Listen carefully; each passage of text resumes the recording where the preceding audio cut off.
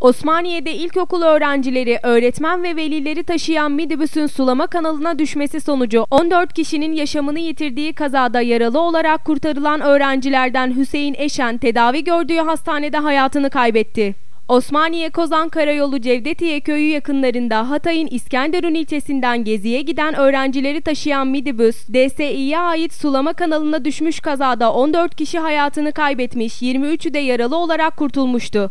Durumu ağır olan yaralılardan 3. sınıf öğrencisi Hüseyin Eşen, tedavi gördüğü İskenderun Devlet Hastanesi'nde hayatını kaybetti.